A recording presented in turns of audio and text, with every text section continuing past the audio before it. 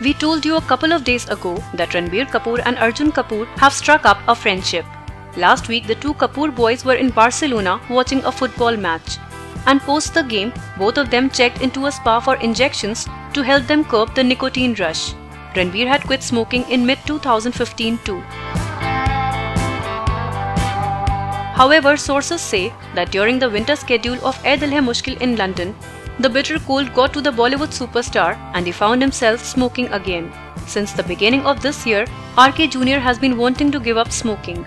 He and his buddy Arjun are determined to stay away from cigarettes for as long as they can.